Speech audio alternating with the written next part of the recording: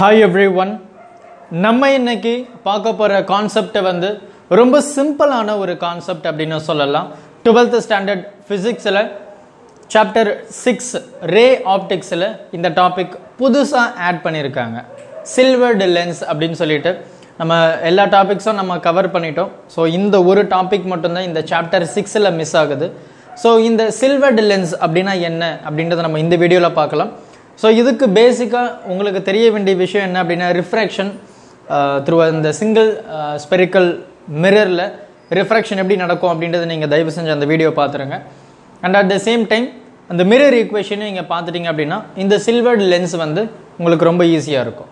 அந்த ரெண்டு வீடியோவோட லிங்க்கை இந்த டிஸ்கிரிப்ஷன் பாக்ஸில் நான் கொடுக்குறேன். ஜஸ்ட் அதை கிளிக் பண்ணி முதல்ல பாருங்கள் அதுக்கப்புறம் இந்த டாப்பிக்கை பார்த்தீங்கன்னா உங்களுக்கு ரொம்ப இன்னும் கிளியராக புரிஞ்சிடும். சில்வர்டு லென்ஸு அது என்னது இது? லென்ஸ் அப்படின்னா நமக்கு தெரியும் ஒரு டிரான்ஸ்பரண்ட் ஒரு ஆப்ஜெக்ட் ஒரு மெட்டீரியல் ஸோ நம்ம இந்த பக்கம் இருந்தால் அந்த பக்கம் இருக்கிற ஆப்ஜெக்ட் வந்து நமக்கு ரொம்ப கிளியராக தெரியும். அதுதான் நம்ம டிரான்ஸ்பரண்ட் அப்படின்னு சொல்லுவோம். அதுதான் நம்ம லென்ஸ் அப்படின்னு சொல்லியிருப்போம். இது என்ன சில்வர்டு லென்ஸ் அப்படின்னு நம்ம பார்த்தோம்னா நமக்கு யூஸ்வலாக இருக்கக்கூடிய அந்த லென்ஸு தான். சரி கொஞ்சம் கேவலமாக வரைஞ்சிட்டேனா? ஓகே டன் ஓகேவா ஸோ யூஸ்வலாக இருக்கிற அதே லென்ஸு தான். பட் என்ன அப்படின்னா ஒரு சைடு ஓகே ஒரு சைடு வந்து நான் வந்து கோட் பண்ணியிருக்கேன். அதுதான் சில்வர்டு சரியா?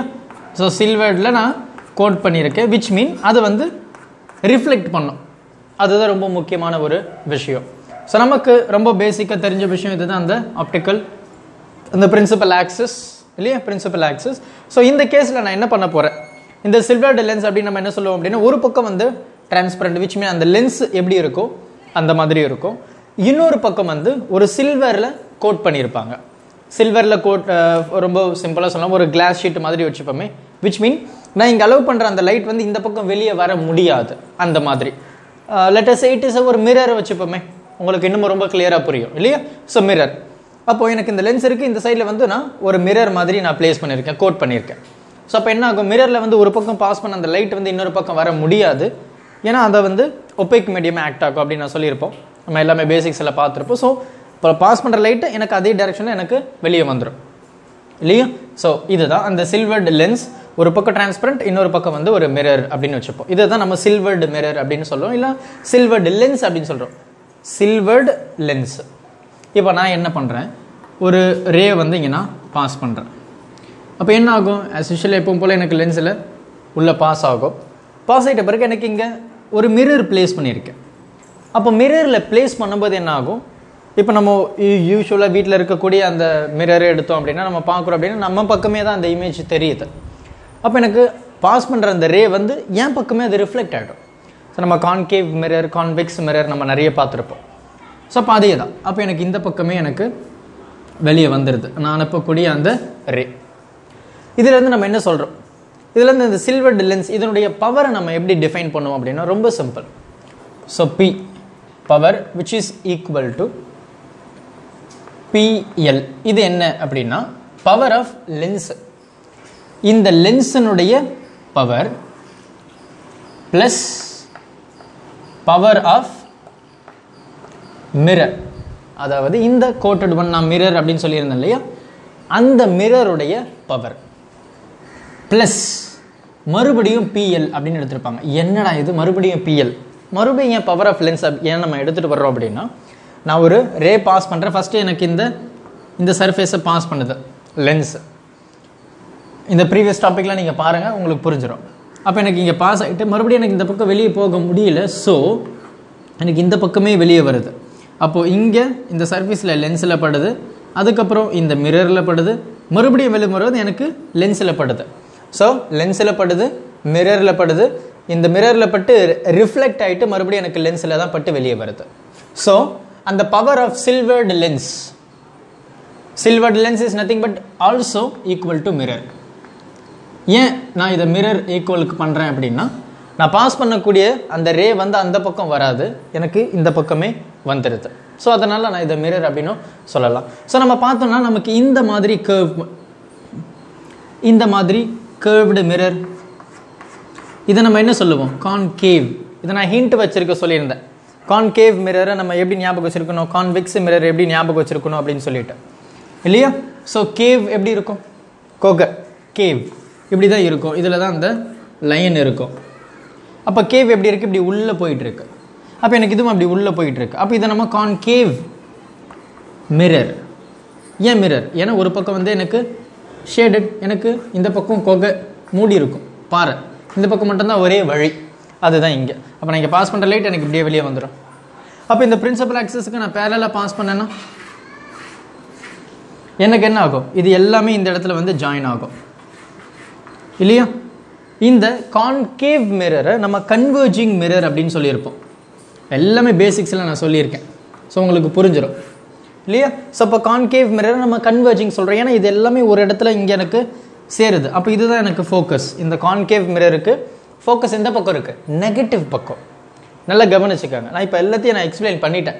ஆனால் ஒரு அப்படி சின்ன ஜென ரெண்டு சப்ஸ்டியூஷன் பண்ணுவோம் அது உங்களுக்கே புரிஞ்சிடும் அப்போ எனக்கு கான்கேவ் மிரரில் எனக்கு ஃபோக்கல் இந்த எந்த பக்கம் இருக்குது நெகட்டிவ் இந்த பக்கம் இருக்குது left hand side sun con sign convention நம்ம யூஸ் பண்ணோன்னா எப்படி? Left hand side is always taken is positive right hand side is always taken is positive இந்த பக்கம் சாரி லெஃப்ட் வந்து is taken is negative so negative positive positive negative height மேக்னிஃபிகேஷனில் வரும் இல்லையா? Okay sign convention நீங்கள் பார்த்துருப்பீங்க. So அப்போ இந்த power நம்ம எப்படி கண்டுபிடிப்போம் அப்படின்னா இந்த powered of silver lens is also referred to be mirror அப்போ நம்ம எப்படி சொல்லலாம்? P which is equal to one by F மிரருடைய focal length மிரருடைய பவரை நம்ம எப்படி கண்டுபிடிப்போம்? Reciprocal of its negative focal length அப்போ நெகட்டிவ் இப்போ ஏன் நெகட்டிவ் வந்தது அப்படின்றது உங்களுக்கு ரொம்ப கிளியராக புரிஞ்சிடும் ஓகே அப்போது யூஸ்வலாக பவர் ஆஃப் லென்ஸை நம்ம reciprocal of its focal length அப்படின்னு நம்ம சொல்லியிருப்போம். படிச்சிருப்போம். சரியா? அப்போ எனக்கு லென்ஸ் அதிகமாக அதிகமாக அதனுடைய பவர் அதிகமாகும். விச் மீன் எனக்கு கிடைக்கக்கூடிய அந்த இமேஜ் கிளாரிட்டி எல்லாமே பக்கவாக இருக்கும். நம்ம மொபைல் ஃபோனில் அட்வர்டைஸ்மெண்ட் பார்த்தீங்கன்னா எல்லா லென்ஸும் அப்படியே மொத்தமாக சேர்ந்து கேமரா ஃபோனில் நிற்கும் அப்போது நம்பர் ஆஃப் லென்சஸ் இன்க்ரீஸ் பண்ணும்போது அதனுடைய ஃபோக்கல் லென்த்து ரெடியூஸ் ஆகும். ஃபோக்கல் லென்த் ரெடியூஸ் ஆச்சுன்னா இந்த லென்ஸினுடைய பவர் ஆட்டோமேட்டிக்காக இன்க்ரீஸ் ஆகிடும். அதுதான் ரெசிப்ரோக்கல் ஃபோக்கல் லென்த் டிக்ரீஸ் ஆகும்போது எனக்கு பவர் வந்து இன்க்ரீஸ் ஆகுது. ஓகே அப்போது எனக்கு மிரர் அதனுடைய பவர் என்ன? அதே தான் reciprocal of its focal length but in negative ஓகேவா so reciprocal of its focal length negative focal length ஏன் நெகட்டிவ் அப்படின்றது இப்போ உங்களுக்கு புரிஞ்சிடும் ரொம்ப கிளியராக இப்போது இது எல்லாத்தையும் நம்ம இங்கே சப்ஸ்டியூட் பண்ண போகிறோம் அவ்வளோதான் இதெல்லாம் ஒரு டெரிவேஷன் அப்படின்னு கேட்பீங்க. அந்த அளவுக்கு ரொம்ப சிம்பிளான ஒரு concept so power is nothing but one by minus F கரெக்டாக minus F which is equal to power of lens என்ன one by F plus power of mirror வந்து one by minus F so நான் இங்கே மைனஸ்ன்னு எழுதிக்கிறேன். ரொம்ப சிம்பிளாக டைரெக்டாக எழுதிக்கலாம். ஓகேவா and plus power of lens வந்து ஒன் பை எஃப் இது ரெண்டும் சேம் தானே? இது எப்படி எழுதலாம்? இங்கே வந்து எனக்கு லென்ஸ் ஸோ அப்போ எல் இது எனக்கு லென்ஸ் எல் இது வந்து மிரர் எஃப் எம் ஓகேவா ஸோ அப்போ இந்த minus one by F which is equal to இது என்னது? ரெண்டுமே சேம் தானே? அப்போ டினாமினேட்டர் சேம் ஸோ நான் நியூமினேட்டர் ஆட் பண்ணியிருப்பேன் two by F L minus one by F M இவ்வளோ தான் ஸோ நான் பேசிக்காக ஸ்டார்டிங்லேயே சொல்லும்போது நான் என்ன சொல்லியிருந்தேன்? இந்த silvered mirror sorry silvered lens is ஆக் ஆல்சோ ஈக்குவல் டு மிரர் அப்படின்னு சொல்லியிருந்தேன். அப்போ மிரர் ஈக்குவேஷன் நம்ம என்ன கண்டுபிடிச்சிருப்போம் அப்படின்னா one by V plus one by U equal to one by F so when I apply the sign convention இல்லையா? So நான் ஆப்ஜெக்டை நான் யூ அப்படின்னு எடுத்திருப்பேன். இமேஜை நான் வி அப்படின்னு எடுத்திருப்பேன். எஃப் ஃபோக்கல் லென்த் அப்படின்னு எடுத்திருப்பேன். அந்த மிரர் ஈக்குவேஷனை பாருங்கள் அந்த மிரர் ஈக்குவேஷன் பார்த்தீங்கன்னா இது என்ன அப்படின்றது உங்களுக்கு புரிஞ்சிடும் அண்ட் மிரர் ஈக்குவேஷனுக்கும் லென்ஸ் மேக்கர் ஃபார்முலாவுக்கும் என்ன டிஃப்ரென்ஸ் அப்படின்னா இன்ஸ்டெட் ஆஃப் ப்ளஸ் அங்கே மைனஸ்னு வரும். சரியா? ஸோ பொறுமையாக பாருங்கள் இதில் கண்டிப்பாக உங்களுக்கு எந்த டவுட்ஸும் வராது. டவுட் வந்ததுன்னா அப்போ அதுக்கு முன்னாடி இருக்கிற வீடியோவை நீங்கள் பார்க்கல அப்படின்னு அர்த்தம். சரியா? ஸோ என்ன?